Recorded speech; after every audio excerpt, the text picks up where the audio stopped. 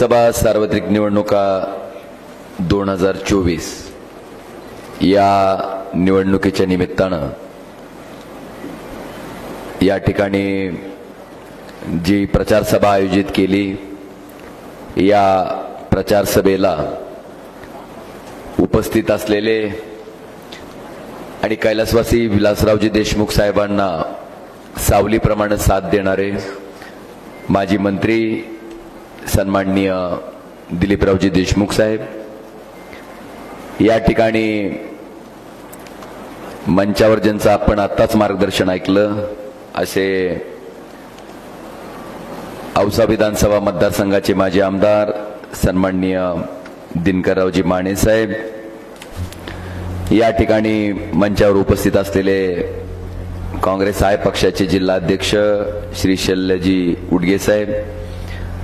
त्याचबरोबर राष्ट्रवादी काँग्रेस शरद पवार पक्षाचे जिल्हाध्यक्ष शेटे साहेब त्याचबरोबर भरतभाऊ सूर्यवंशी संतोषजी सोमवंशी साहेब सहसंपर्क प्रमुख शिवसेना आदरणीय जयश्रीताई उडगे सौ राजेंद्रजी मोरे शेतकरी संघटना संपर्क प्रमुख सन्माननीय स्वयंप्रभा पाटील माजी जिल्हा परिषद सदस्या माननीय नारायणाबा लोखंडे बजरंगदादा जाधव संतोषजी सूर्यवंशी दिलीपजी चावळे रेखाताई पुजारी रामदासजी चव्हाण पूजाताई सगर सुनीता भोसले श्रीपतराव काकडे साहेब बागवी बावगे साहेब बाबळ सुरेताई सचिनजी पाटील सुभाषदाजी पवार दत्तोपंतजी सूर्यवंशी आबासाहेब पवार शामरावजी पाटील व्यासपीठावरील सर्व मान्यवर आणि व्यासपीठाच्या समोर उपस्थित असलेले या भागातील सर्व वडीलधारी मंडळी तरुण मित्र माता भगिनी आणि बंधूंनो. आज सगळ्यात पहिल्यांदा मला आपल्या सगळ्यांना विचारायचं आहे की मागच्या पाच वर्षापूर्वी आपण मला आपल्या या भागाचा खासदार म्हणून त्या ठिकाणी देशाच्या सर्वोच्च सभागृहात लोकसभेत पाठवलं. त्या प्रचारादरम्यान मी नेहमी आपल्याला म्हणत होतो की ओमराजे हा फक्त आपल्याला निवडणुकीपुरता खासदार न दिसता तुमच्या कुटुंबातला सदस्य आहे असं समजून तुमचा मुलगा आहे तुमचा नातू आहे तुमच्या बहिणीचा भाऊ आहे असं समजून मला मतदान करा. मला वाटतंय पाच वर्ष ते नातं अखंडपणे जपायचं काम.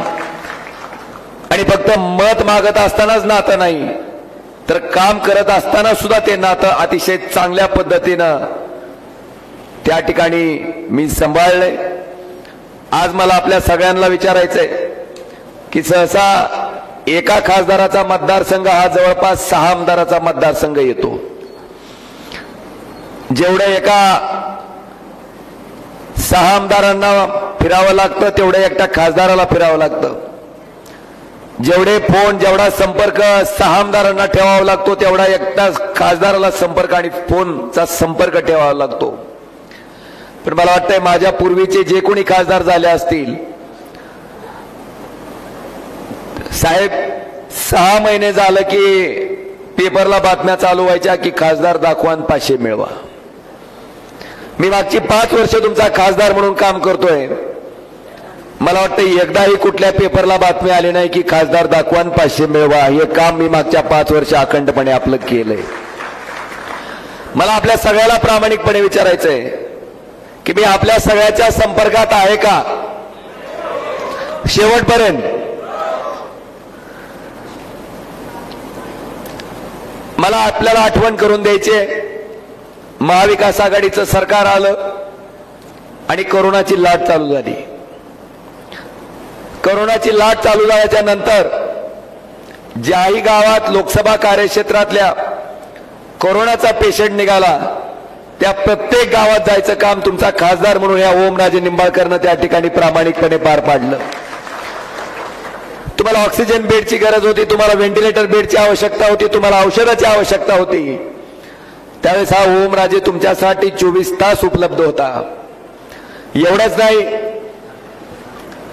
ऑक्सिजन बेड त्या ठिकाणी कमी पडायल्याच्या नंतर आपल्या स्वतःच्या मंगल कार्यालयामध्ये आपण जवळपास शंभर बेडचं हॉस्पिटल चालू केलं. ज्याच्यामध्ये पन्नास बेड ऑक्सिजनचे आपण त्या ठिकाणी निर्माण केले आणि त्या ठिकाणी सुद्धा सर्वसामान्य माणसाचा ऑक्सिजनमुळे प्राण जावणे ह्याच्यासाठी सगळ्या दवाखान्याच्या सोयी सुविधा त्या शंभर बेडच्या मंगल कार्यालयाच्या हॉस्पिटलमध्ये आपण त्या ठिकाणी दिल्या. आपल्यापैकी अनेक जणांनी सुद्धा त्या ठिकाणी उपचार घेतले. मला आपल्याला प्रश्न विचारायचा आहे की पावसाळ्यात जशा कुत्र्याच्या छत्र्या उगवतात त्या पद्धतीनं आता निवडणुकीत काही छत्र्या उगवल्यात. आणि त्यांना विकासाचं भरता आलंय. मला तुम्हाला प्रामाणिकपणे विचारायचंय. त्यावेळेस राणा पाटील आले का हो? अर्चनाताई आल्या का? मल्हार पाटील आले का? तुम्ही आमच्या शब्दावर ज्यांना आमदार म्हणून निवडून दिलं ते तरी आले का हो? त्यावेळेस मला वाटतंय तुमचा खासदार ओमराजे निंबाळकर तुमच्यासाठी चोवीस तास उपलब्ध होता. आणि ह्या कामाचंच फळ आहे की आज आपण बघितलं असेल तर पुढे आठ ते नऊ आमदार आहेत. एक मंत्री आहे दोन उपमुख्यमंत्री आहेत एक मुख्यमंत्री आहे. पुन्हा आमची सेना फोडून चाळीस बोके तिकडे घेतलेत. राष्ट्रवादी फोडून अडतीस माणसं तिकडे घेतलेत आमदार. त्यांची शक्ती आहे. ते काय कमी पडलं म्हणून पुन्हा काँग्रेसला हात घातलाय. बसवराज पाटील साहेबांना तिकडे घेतलंय सुनील चव्हाणांना तिकडे घेतलंय. पुन्हा मनसेचा पाठिंबा घेतलाय. आणि साहेब एवढा सगळा खटाटोप करून सुद्धा अजून कॉन्फिडन्स आलेला नाही. परत आज मोदी साहेबाची सभा धाराशिवला लावली.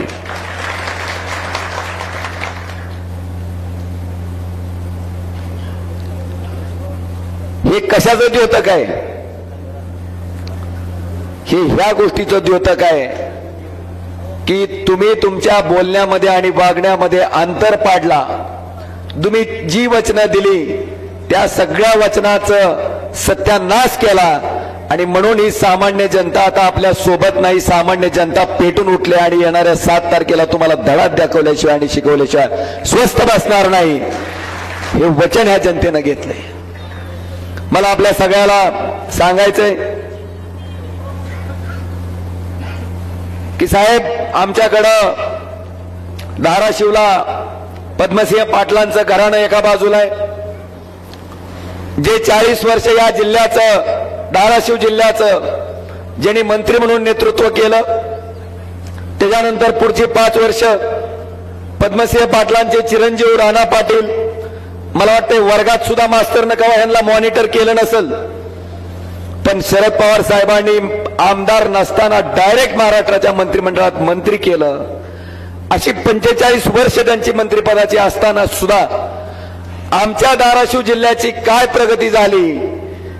तर ह्यांची कर्तबगाडी एवढीच साहेब की मागासलेल्या दरिद्री जिल्ह्याच्या यादीत केंद्र सरकारनं जेव्हा ती यादी जाहीर केली तेव्हा आमचा धाराशिव जिल्हा देशात क्रमांक तीनचा मागासलेला जिल्हा म्हणून त्या ठिकाणी त्या यादीत आला. मला वाटते हीच त्या मंत्रिपदाची कमाई.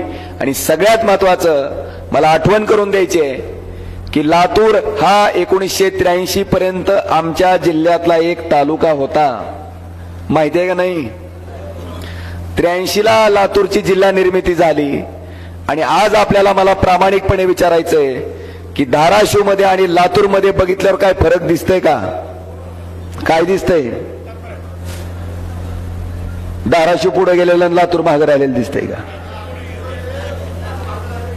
लातूरला आज साहेब महानगरपालिका झाली आहे आणि धाराशिवची आमची अजून नगरपालिकाच आहे. लातूरची आडत बघा. तिथं किती मोठ्या प्रमाणात व्यापार होतोय ते बघा. आणि धाराशिवला मात्र आमच्या आरतीत कुत्रीन मांजरच फिरतेत. तुम्ही लातूरची एम आय डी सी बघा. आणि आमच्याकडं धाराशिवची एम आय डी सी बघा. आणि मला वाटतं हे बघितल्याच्या नंतर लातूरच्या विकासाचं श्रेय जर कुणाला द्यायचं असेल तर स्वर्गीय मुख्यमंत्री मुख्यमंत्री सन्माननीय विलासरावजी देशमुख साहेबांना त्या ठिकाणी द्यावं लागेल. एक नेतृत्व ज्यांच्याकडे विकासाची दिशा असते ते नेतृत्व एखाद्या जिल्ह्याचं तालुका असलेला जिल्हा झाल्याच्यानंतर त्याचा विकास कशा पद्धतीनं घडतो? आणि दुसऱ्या बाजूला आमच्या धाराशिव जिल्ह्याचं नेतृत्व आहे की ज्यांनी कायमस्वरूपी लोक दारिद्र्यात कशी राहतील आणि लोक दारिद्र्यात राहिल्याच्या नंतर त्यांच्या खिशात पैसे कसे येणार नाहीत आणि लोक दारिद्र्यात राहिल्यामुळं निवडणुका लागल्याच्या नंतर आपल्या जवळचे पाचशे हजार रुपये देऊन त्या लोकांना परत कशा पद्धतीनं मतदान घेता येईल हा वाईट दृष्टिकोन ठेवून धाराशिव जिल्ह्यातलं राजकारण केलं गेलं. मला आपल्या सगळ्यांना प्रामाणिकपणे विचारायचंय नेमकं आपल्याला धाराशिव जिल्ह्याची अवस्था बघून तरी त्यांना मत टाकायचं मन होईल का हा विचार इथल्या सामान्य जनतेनं त्या ठिकाणी करणं गरजेचं आहे. आज भारतीय जनता पार्टी घराणेशाहीबद्दल बोललं जात आहे त्याच्यापूर्वी मला सांगायचंय चाळीस पंचेचाळीस वर्ष मंत्रीपद दिलेलं असताना सुद्धा एका रात्रीत राणा पाटील डॉक्टर पाटील भारतीय जनता पार्टीत प्रवेश केला. आणि काय कारण सांगितलं हो? विकास. पवार साहेबांबरोबर गद्दारी करून भाजपमध्ये गेले. कारण काय सांगितलं? आता मग विकास कमळाबाईला जमला नाही काय पाच वर्षात? आता त्यांना सोडलंय. आणि त्यांच्याच मंडळी परत कोणत्या पार्टीत आल्यात? चोरलेल्या घड्याळ पार्टीत. आणि परत तिकडून इकडे येण्याचं कारण काय? विकास. हा जो काही विकास आहे ना जिल्ह्याचा तो विकास आणि मकरंद अनासपुरेचा एक शिन्मा आहे बघा. हा. अशीच निवडणूक लागलेली असते आमदारकीची. ते देवाला जाऊन पाया पडते आणि म्हणते देवा देवा मला आमदार कर तुला सोन्याची टोपी घालतो. तुम्ही जसे प्रसन्न झाले तसं त्यांना आमदार केलं. देव बी प्रसन्न झाला आमदार झाले. आणि आमदार झाल्यावर देव वाट बघत होता की नेमकं कोणत्या सोनाराकडून सोन्याचा टोप येतोय की? हे प्रचंड हुशार माणसं राणा पाटलासारखी गावात जाते सोन्या नावाचं पोरग हुडकते त्याला टोपी घालते त्याचीच काढते देवाला घालते म्हणते झाली तुला सोन्याची टोपी झाला निवस पूर्ण तुमचा.